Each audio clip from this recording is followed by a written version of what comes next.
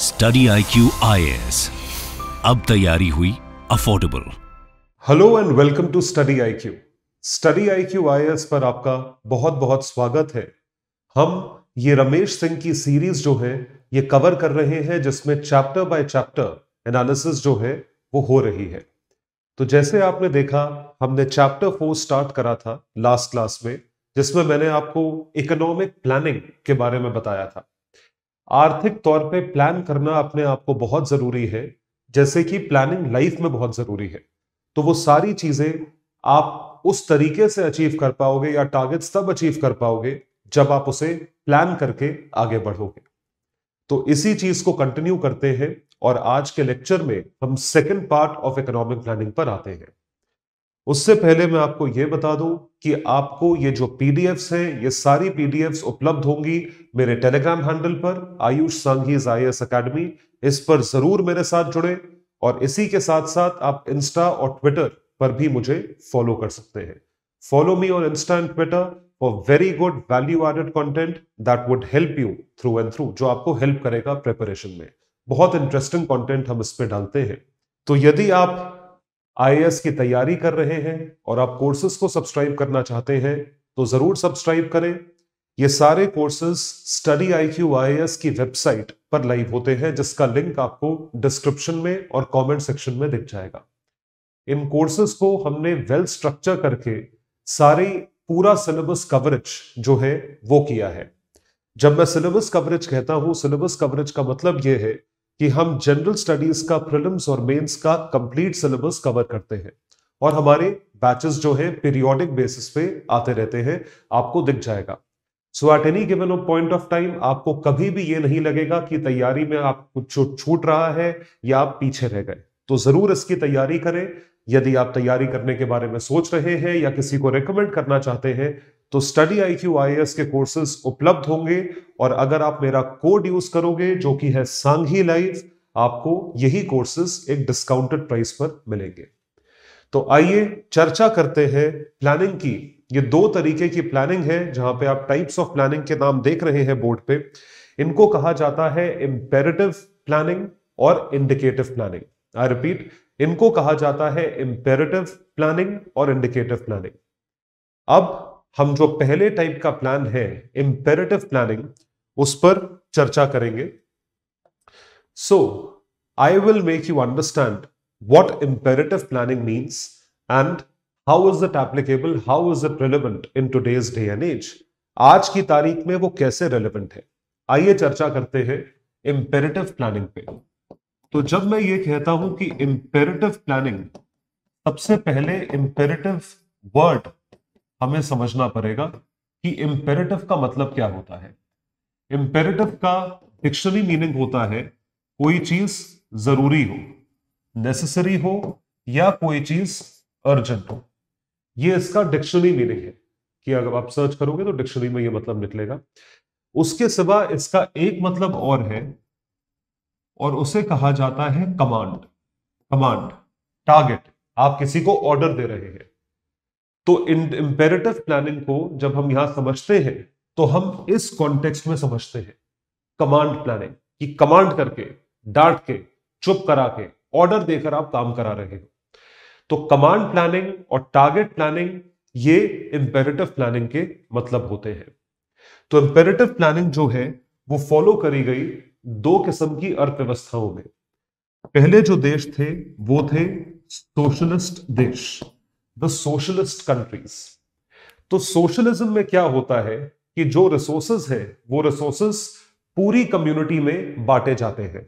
उनकी ओनरशिप जो है, वो पूरी कम्युनिटी में करी जाती है या पूरी कम्युनिटी में बांटी जाती है। उसका फ़ायदा सबको इक्वली मिलता है। वो एक सोशलिस्ट मॉडल है और ये सोशलिस्ट मॉडल प्रपोज किया गया था कार्ल मार्क्स द्वारा, जिसमें हमने बहुत डिटेल में चर्चा करी थी चैप्टर वन और चैप्टर टू में। आप हमारी इसी सीरीज़ में देख सकते हैं। और जो दूसरा मॉडल है कमांड इकोनॉमी का, वो है कम्युनिस्ट मॉडल कम्युनिस्ट मॉडल यानी everything is owned by a community सब कुछ जो है वो कम्युनिटी द्वारा ओन्ड है। कम्युनिटी डिसाइड करेगी कि आपको क्या मिलना चाहिए, क्या नहीं मिलना चाहिए। नथिंग इज़ प्राइवेटली ओन्ड उसको कहा जाता है कम्युनाइज्ड मॉडल जिससे जो कम्युनिस्ट पार्टी है, उसका माइंडसेट आता है।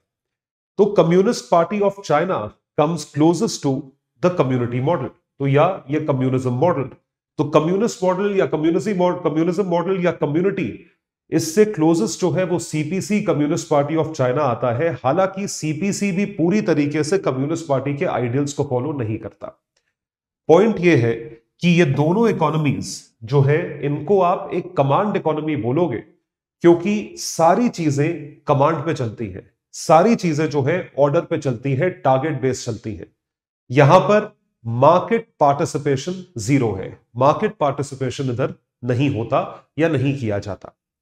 तो इंडिकेटिव प्लानिंग के, अगर इंपेरेटिव प्लानिंग के I am sorry imperative planning के अगर हम फीचर्स को कैटेगराइज करें तो सबसे पहला फीचर ये है कि न्यूमेरिकल बेसिस पे ये चीज़ जो है, इसका टारगेट लिया जाता है। यानी आपको स्कूल खोलने हैं आपको आ, आपको कोई आपको हॉस्पिटल्स बनाने हैं आपको ये चीज़ें करनी है। तो इन सब चीज़ों के लिए आपको टारगेट रखना पड़ता है जो कि क्वांटिफाइबल हो। जैसे कि मान लीजिए हमें 500 स्कूल खोलने हैं या पाँच करोड़ भारत सरकार को टॉयलेट्स बनाने थे। तो वो सारी की सारी चीज़ें आती हैं as a part of numerical target अब पॉइंट ये है कि इंपेरेटिव प्लानिंग में जो न्यूमेरिकल टारगेट है उसको अचीव करने के लिए आपके जो रिसोर्सेज हैं, वो सारे स्टेट ओन्ड होते हैं। मतलब there is no private participation किसी भी तरीके का प्राइवेट पार्टिसिपेशन नहीं होता। ये जो स्कूल्स है, ये हॉस्पिटल्स है, ये टॉयलेट्स है, ये प्राइवेटली ओन्ड नहीं होते। They are not owned privately इस बात का ख्याल रखें, इस बात को ध्यान रखें। एक बहुत ही इंपॉर्टेंट फीचर है, वो ये है कि market participation is zero market का कोई रोल नहीं है, यानी कि डिमांड एंड सप्लाई का कोई रोल नहीं है। जब यह बात कही जाती है कि डिमांड एंड सप्लाई का कोई रोल नहीं है, इसका मतलब यह है कि everything is regulated by the state सब कुछ स्टेट द्वारा रेगुलेटेड है। तो ये जो फीचर्स है, ये सारे के सारे फीचर्स इंपेरेटिव प्लानिंग के फीचर्स है जो यहाँ पर आते हैं, जिसके बेसिस पे कमांड इकोनॉमीज सोशलिस्ट इकोनॉमीज या कम्युनिस्ट इकोनॉमीज चलती हैं। तो यहाँ पर जो कंट्रीज़ का एग्ज़ाम्पल आपके मन में आएगा, वो बिल्कुल सही है। चाहे अर्स्ट वाइल यूएसएसआर हो या आज का रशिया हो, उसके बाद चाइना हो, और ऐसे कई देश, अभी एग्जाम्पल्स के रूप में मैं आपको बताऊँगा, वो इस चीज़ पे या इस फ़ंक्शन पे फ़ंक्शन करते हैं। तो देखिए, क्या कहती है इंपेरेटिव प्लानिंग की definition that is followed by state economies की स्टेट या कंट्रीज़ दैट इज़ सोशलिस्ट और communist economies is known as the imperative planning process such planning is also called as directive और टारगेट प्लानिंग हाईली इंपॉर्टेंट इसको directive planning या target planning या एक word या keyword जो मैंने आपको अभी बताया था, उसे बोलते हैं कमांड प्लानिंग कमांड इकोनॉमीज है कमांड प्लानिंग वो बिल्कुल सटीक वर्ड है इन इकोनॉमीज के लिए, इन कंट्रीज़ के लिए. तो सोशलिस्ट सिस्टम में all economic decisions were centralised in the hands of the state with collective ownership of resources collective ownership की सबके पास है। मान लीजिए मेरे पास दो गाय हैं। उन दो गाय में से एक गाय जो है, मैं अपने नेबर को दे दूँ, क्योंकि उसके पास नहीं है तो दोनों उसका दूध निकाल के पिएँगे अपना अपना खुश रहेंगे। यह है collective ownership of resources socialism communism में क्या होता है कि दो गाय है। दो गाय जो है स्टेट आपसे ले लेगी या कॉलोनी आपसे ले लेगी। अब उन दो गाय का जो दूध निकलेगा, वो पूरी कॉलोनी पिएगी। उसको बोलते हैं कम्युनिस्ट पार्टी कम्युनिस्ट सिस्टम तो China of the past all resources were to be owned and utilise by the state वो कॉलोनी ओन करेगी, वो सरकार ओन करेगी including labour thus communist China was the purest example of such planning it comes closest आज की date में pure communism कोई भी फॉलो नहीं करता है, क्योंकि अपने हिसाब से आप इकोनॉमीज ड्राइव करते हो। हम डेमोक्रेटिक भी हैं, साथ में हमारा कमांड इकोनॉमी भी है प्रेस की फ्रीडम नहीं है प्राइवेट सेक्टर जो है सिर्फ़ कंट्री का पार्टिसिपेट करता है सोशल मीडिया रेगुलेटेड है तो आप कहाँ से फिर डेमोक्रेटिक हुए? So in the case of the Soviet Union a little bit of market did exist यहाँ पे थोड़ा बहुत मार्केट एग्जिस्ट करता था लेकिन इसके फीचर के अनुसार इंपेरेटिव प्लानिंग में मार्केट स्ट्रक्चर एग्जिस्ट नहीं करता।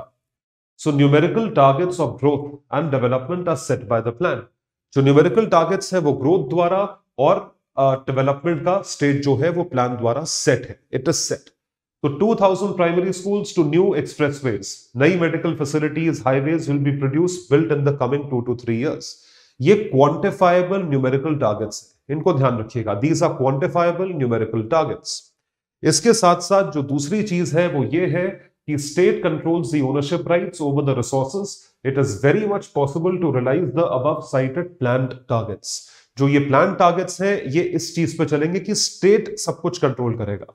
ये इंपेरेटिव प्लानिंग का फीचर है। Everything is owned by the state which is why market system does not exist कि आप डिमांड सप्लाई पे प्राइसेस रेगुलेट कर रहे हैं, ये चीज़ एग्जिस्ट नहीं करती। इसमें no price mechanism with all economic decisions to be taken in the centralised way by the state और द गवर्नमेंट ये चीज़ चली आ रही है।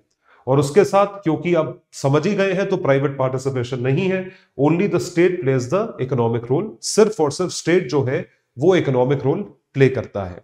इस वजह से, जैसा मैंने आपको बताया, इनको आप कमांड इकोनॉमी कहोगे followed this kind of planning तो कमांड इकोनॉमीज में यूएसएसआर चाइना हंगरी ऑस्ट्रिया ये सारे देश थे। These countries use to be command economies तो कमांड इकोनॉमी के चलते या कमांड इकोनॉमी को मद्देनजर रखते हुए इंपेरेटिव प्लानिंग का कॉन्सेप्ट प्रपोज किया गया था।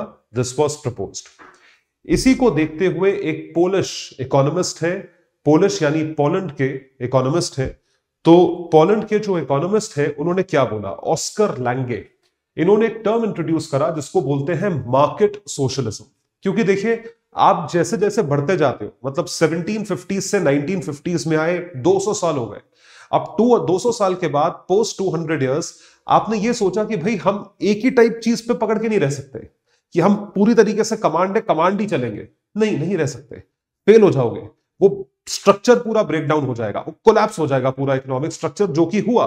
जब ग्रेट डिप्रेशन हुआ 1927-28 में तो 1929 ऑनवर्ड सारे पूरी दुनिया ने ये बोलना शुरू करा। सबने अपनी गणित लगाई, सबने अपना ज्ञान लगाया, सबने अपना दिमाग लगाया तो ये बोला कि चाहे वो कैपिटलिस्ट सिस्टम हो, जो कि अमेरिका फॉलो करता था, वहाँ से आया था अमेरिकन रेवोल्यूशन के बाद, या 1850s के बाद मार्क्सिस्ट सिस्टम हो, जो कि सोशलिस्ट सिस्टम था, बाद में इवॉल्व होकर वो कम्युनिस्ट सिस्टम आया। तो 1750 से लेके 1929 तक दुनिया ने कैपिटलिस्ट कंट्रीज़ भी देख ली सोशलिस्ट कंट्रीज़ भी देख ली कम्युनिस्ट कंट्रीज़ भी देख ली सारे मॉडल्स फेल हो गए। मतलब ग्रेट डिप्रेशन में कोई नहीं बचा। आपने सोशलिज्म क्यों आया था? इसलिए आया था ना कैपिटलिज्म को बीट करने के लिए कि ये इकोनॉमिक सिस्टम बहुत अच्छा है, कि सबका सब कुछ होना चाहिए लेबर क्लास का सब कुछ होना चाहिए, ठीक है, दे दो, फिर भी कोलैप्स हो गया। आधे से ज़्यादा दुनिया जो है वो कहाँ चली गई? वो गर्त में चली गई। इसका मतलब ना तो सोशलिस्ट सिस्टम कामयाब है और ना ही कम्युनिस्ट और कैपिटलिस्ट सिस्टम पूरी तरीके से कामयाब है। इस वजह से जो बुद्धा का दिखाया हुआ रास्ता है, जिसको बोलते हैं मध्य मार्ग। मध्य मार्ग ही सच्चाई है, ध्यान रखिएगा। बैलेंस्ड अप्रोच, एक middle approach. Neither of the two extremes work. ना तो राइट विंग पूरी तरीके से काम करेगा, ना लेफ़्ट विंग काम करेगा। ना तो पूरी तरीके से कम्युनिज्म काम करेगा, ना ही पूरी तरीके से जो है कैपिटलिज्म काम करेगा। इस वजह से जो टर्म आप देख रहे हैं, ये टर्म जो है मिक्सचर ऑफ़ टू एक्सट्रीम्स है।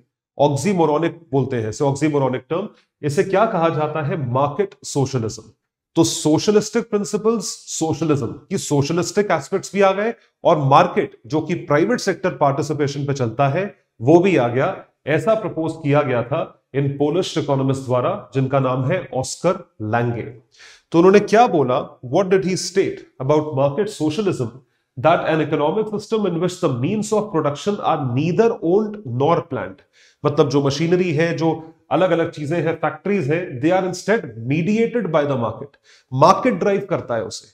और यही होता है।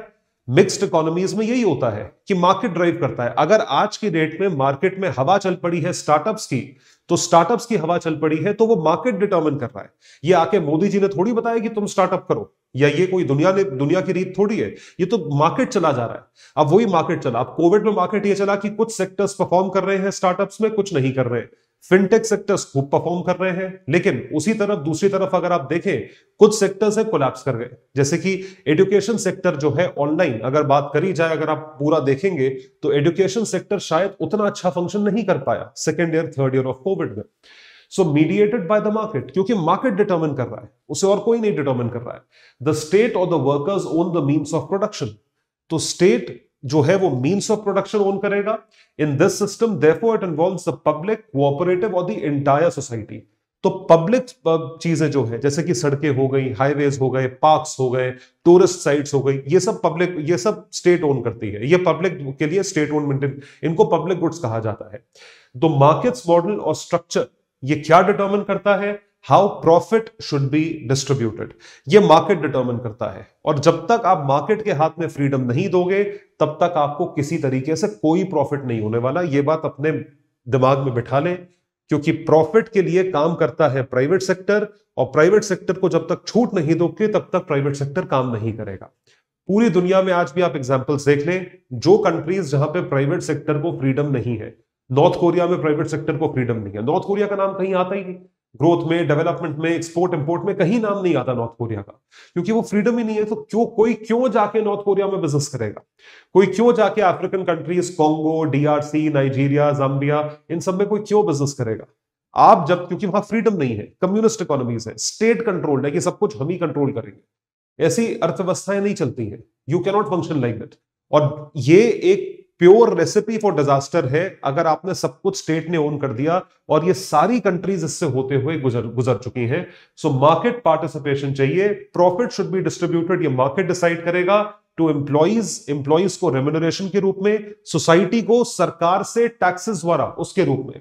सोसाइटी एज द बेनिफिट और to general public as social dividends इस तरीके से इसको डिस्ट्रीब्यूट किया जाता है। अब क्योंकि एक ऐसा आदमी आया जिसने आज तक जो सिस्टम चल रहा था, उसे खारिज कर दिया, उसे डिस्कार्ड कर दिया, एक नया सिस्टम प्रपोज करा मार्केट सोशलिज्म के नाम पे।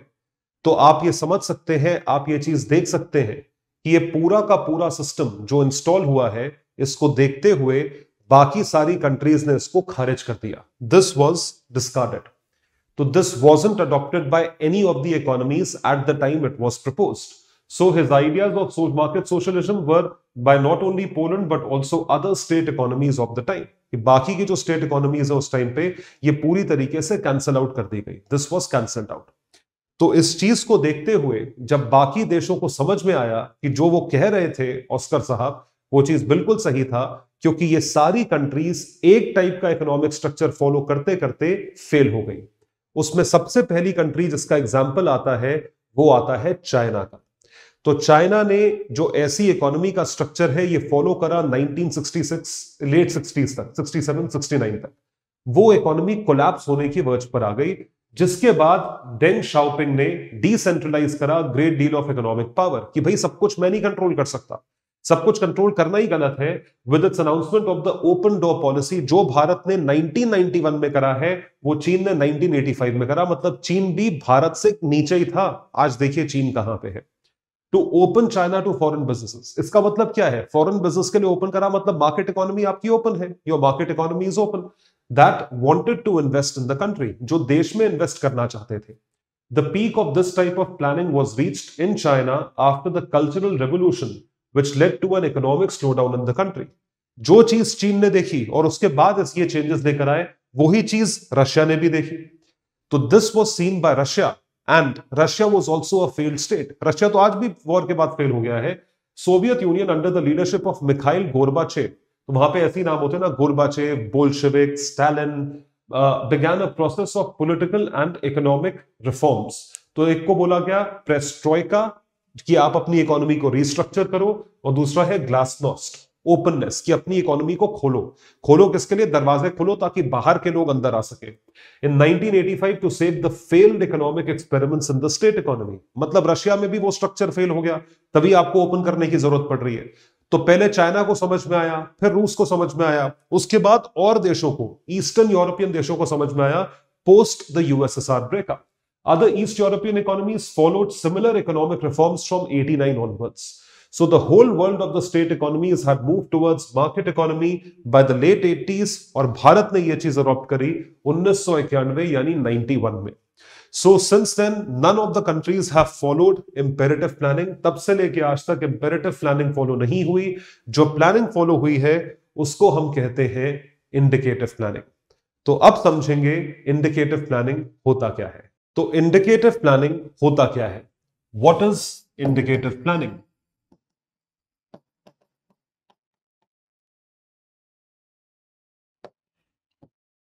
When we talk about indicative, the word indicative is a hint indicate करना। ये रास्ता वहाँ जा रहा है। इंडिकेट करो। हिंट दो। अच्छा वहाँ से जाके लेफ़्ट ले लेना। इंडिकेटिव प्लानिंग इंडिकेट हिंट इशारा। हिंदी में से कहा जाता है इशारा। तो आपने किसी को इशारा दिया। हिंट करा कौन किसको इशारा देता है? और उस पर कौन एक्शन लेता है? ये देखने वाली बात है this is something that has to be seen तो indicative planning is the hint और द इशारा coming from the state or you can say the government. It is given to the economy. तो इकोनॉमी के जितने भी constituents हैं economy के जितने भी कॉन्स्टिट्यूंट्स हैं, जैसे कि आप और हम इंडिविजुअल्स हो गए, या कंपनीज़ हो गई, स्टडी आईक्यू जैसी कंपनीज़ हो गई, या कॉर्पोरेट हाउसेस हो गए, बड़े business houses manufacturing entities service sector मतलब कोई भी हुआ, इनको इंडिकेट किया जाता है सरकार द्वारा।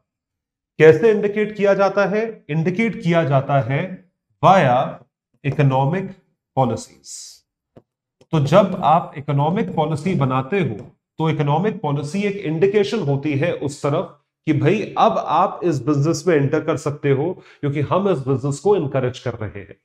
एग्ज़ाम्पल के लिए, अगर मान लीजिए एक बजट आया और उस बजट में स्टार्टअप कम्युनिटी को इंसेंटिव दिया गया कि आपके ऊपर पहले तीन साल जो है, जो भी आप इनकम कमाएँगे, उस पर टैक्स नहीं लगेगा। There would be no taxation on the income that you earn तो उस चीज़ को देखते हुए, समझते हुए अगर हम देखें तो वहाँ पे क्या चीज़ होती है? वॉट हैपन्स ओवर हियर कि यहाँ पे हम ये देखते हैं कि आपको इशारा मिला। तो लोग स्टार्टअप करते हैं। तो जो कंस्टिट्यूंस है इकोनॉमी के, जो प्राइवेट सेक्टर है इंडिविजुअल्स है कंपनीज़ है, उनके लिए पॉलिसी बनती है, फिर वो उस तरफ़ चल पड़ते हैं। ऑटोमोबाइल मैन्युफैक्चरर को मैन्युफैक्चर को या असेंबल करने को भारत सरकार जो है, वो पुश दे रही है। तो आप ये करें। रियल एस्टेट सेक्टर को पुश दिया जा रहा है, वो करें। एमएसएमई सेक्टर को पुश दिया जा रहा है, वो करें, मुद्रा बैंक बनाया और कई तो ये सब क्या है? ये इंडिकेशन ही तो है कि हमने स्कीम बना दी, अब आप इसका कैसे फ़ायदा उठाओगे, ये आप देखो। This is something that has to be seen तो ये एक बहुत ही इंपॉर्टेंट फीचर है इंडिकेटिव प्लानिंग का एन एक्सट्रीमली इंपॉर्टेंट फीचर दूसरा जो फीचर है इंडिकेटिव प्लानिंग अडॉप्ट हुई थ्रू आउट मिक्सड इकोनॉमीज द्वारा। It was adopted by mixed economies mixed यानी ऐसी इकोनॉमीज जहाँ पर कुछ चीज़ें ऐसी हैं जो आज भी गवर्नमेंट या स्टेट कमांड करती है और कुछ चीज़ें ऐसी हैं जो कि आपने प्राइवेट सेक्टर के लिए छोड़ी हुई हैं। You have left them to the private sector this is something which is known ये चीज़ आती है मिक्स्ड इकोनॉमीज में इंडिकेटिव प्लानिंग में हाईली हाईली इंपॉर्टेंट और इसकी वजह से यहाँ पे रोल किसका आता है? रोल आता है मार्केट इकोनॉमीज का। मार्केट इकोनॉमीज का रोल इसलिए आता है क्योंकि आपको पब्लिक या प्राइवेट सेक्टर पार्टिसिपेशन चाहिए तो वो मार्केट ही डिटर्मिन करेगा। जो पॉलिसीज़ आप बनाते हैं, वो आप मार्केट के लिए बनाते हैं। You make those policies for the market अब क्योंकि आपने मार्केट के लिए पॉलिसी बनाई है तो वो जिस तरीके से मार्केट पॉलिसी पे एक्ट करेगा, उस हिसाब से प्राइसेस ऊपर नीचे जाएँगे। बिज़नेस में पार्टिसिपेशन उस हिसाब से होगी। ये सारी चीज़ें हैं। फिर न्यूमेरिकल टारगेट्स जो है, वो यहाँ पर भी सेट होते हैं। अब वो प्राइवेट सेक्टर अचीव करे पब्लिक सेक्टर अचीव करे वो जैसे भी अचीव करना है आपको उस लेवल पे इंडिकेशन मिल चुका है। So this is primarily indicative planning तो देखिए इसकी definition such planning has been termed as indicative planning by economists and expert, जहाँ पर ना तो स्टेट इकोनॉमीज ना ही कम्युनिस्ट या सोशलिस्ट पॉलिटिकल सिस्टम्स चलते हैं। The nature of the planning was different from command economies command economy से जो कि स्टेट और कम्युनिस्ट कंट्रीज़ फॉलो करती थी, उससे अलग है। तो ये सोवियत प्लानिंग जब कमेंस हुई, तब ये पता चला क्योंकि सोवियत ही वो देश है जिसने सबसे पहले planning as a concept start करा था। ये हमने पिछले लेक्चर में देखा था। तो इसके चलते अब अगर हमें देखना है कि कौन सी इकोनॉमीज इंडिकेटिव प्लानिंग फॉलो करती हैं, वो इंडिकेटिव प्लानिंग के फीचर्स से हमें समझ में आएगा, जो हमने अभी डिस्कस करे। तो every economy following indicative planning is mixed economy unlike a centrally plan economy indicative planning works through the market price system rather than it does not replace it it works on this इस चीज़ पे काम करा जाता है। उसके बाद side by side setting numerical और quantitative targets a set of economic policies of indicative nature क्या आप इंडिकेट कर रहे हो is also announced by the economies to realise the plan targets कि प्लान टारगेट्स को रियलाइज़ करने के लिए आप इस पर्टिकुलर स्टेज पर आकर काम करते हो। तो इंडिकेटिव नेचर जो है, वो क्या करेगा? वो इनकरेज करेगा या डिस्करेज करेगा प्राइवेट सेक्टर को in its process of economic decision making तो ये इंडिकेटिव नेचर ऑफ़ प्लानिंग जो है, वो पॉलिसीज़ ऐसी बनाएगा कि आप या तो इनकरेज हो जाओगे या डिस्करेज हो जाओगे, जो कि एक्चुअली होता है। तो आप अगर इसको कोरिलेट करेंगे स्टार्टअप इंडिया और स्टैंड अप इंडिया स्कीम आई तो उसने क्या करा? उसने हमें इनकरेज करा या डिस्करेज करा। तो हमें इनकरेज करा गया तो ऐसी स्किल इंडिया स्कीम आई इनकरेज किया गया। और अगर किसी सेक्टर में कोई स्कीम नहीं आ रही है तो मतलब भारत सरकार नहीं चाहती कि मार्केट उस पर एक्ट करे। इसको इंडिकेटिव प्लानिंग कहा जाता है। तो सोवियत के प्लानिंग प्रोसेस को अडॉप्ट करने के बाद ये चीज़ फ्रांस पहुँची, जहाँ पे सिक्स ईयर प्लान जो है, वो डेवलप करे गए। पहला प्लान जो आया था, वो mid so mixed economy by the forties they commence the first six year plan in 47 जिसको मोने प्लान कहा गया। मोने उनके पहले चेयरपर्सन थे जनरल प्लानिंग कमीशन के and the then cabinet minister for planning in France ये फ्रांस में जिस तरीके की प्लानिंग चल रही है, उस चीज़ पे ये बारी जो है, ये चलती रही। तो कई तरीके से प्लानिंग हुई। The plan is also sometimes described as the basic sector planning as the government had selected eight basic industries आठ बेसिक इंडस्ट्रीज़ जो डेवलपमेंट का कोर है, जैसे कि iron steel coal etcetera in which the nature of planning was almost imperative जो कि थी under state मनोपली जो कि बिल्कुल सरकारों के हाथ में होनी चाहिए या आर्ट कोर इंडस्ट्रीज़ इसके सिवा आपने बाकी की इंडस्ट्रीज़ प्राइवेट सेक्टर के लिए खोल दी। तो यह भी एक इंडिकेशन है। These sectors owned by the private sector to 1944 independence के पहले when France opted for their nationalisation so other economic activities वो open for private participation were in indicative planning and policy planning were essential तो सरकार जो है वो policy maker है और उसके बाद प्राइवेट सेक्टर जो है वो पॉलिसी फॉलोअर है। सो वर्ल्ड वॉर टू के बाद almost new independent countries adopted the route of plan development क्योंकि सोशलिस्ट और कम्युनिस्ट मॉडल्स पूरी तरीके से फेल्ड थे। आज भी जो कम्युनिस्ट कंट्रीज़ अपने आप को कम्युनिस्ट कहती हैं कम्युनिस्ट पार्टी द्वारा रूल्ड है लेकिन वो भी कंट्रीज़ मार्केट मॉडल फॉलो करती हैं, क्योंकि मार्केट मॉडल के बगैर आप फिर से कोलैप्स कर जाओगे। जब तक मार्केट मॉडल नहीं होगा, तुम अपने खुद कब तक करोगे? प्राइवेट सेक्टर तो चाहिए, बाकी लोग क्या खाली बैठे रहेंगे? वो सरकारी नौकरी करते रहेंगे। आप देखिए ना आज की डेट में इंडियन स्टेट्स देखिए जो कम्युनिस्ट मॉडल पे चलते हैं केरला देखिए। एजुकेशन रेट हाईएस्ट लेकिन डेवलपमेंट में केरला का नंबर कहीं नहीं आता। प्राइवेट सेक्टर एग्जिस्ट ही नहीं करता। यहाँ तक कि ऊबर ओला नहीं चलती वहाँ पे। They don't allow them to exist क्योंकि इतनी स्ट्रॉन्ग लॉबी है, जो जो वहाँ के लोग हैं प्लस जो सरकारों के साथ चीज़ें चलती हैं। आज भी केरला में सेक्रेटेरिएट के बाहर जो है, किसी ना किसी बात पे धरना चलता रहता है। कोई ना कोई प्राइवेट सेक्टर के खिलाफ प्रदर्शन करता रहता है। So though they followed an overall model of indicative planning many of them had a serious inclination towards imperative planning imperative planning की तरफ़ थी, क्योंकि उसमें कंट्रोल तो तुम्हारे हाथ में होता है लेकिन indicative planning need of the hour था। तो भारत ने क्या करा? The heavy bias towards imperative planning could only be reformed once the process of economic reforms was done in 91 तो 91 के पहले of the sectors were nationalized by the government of India and this is something that we had to end. This is something that we had to uh, unfollow और हमें कुछ नई चीज़ follow करनी थी। तो ये चीज़ है। तो भारत में कौन सी अप्रोच आई?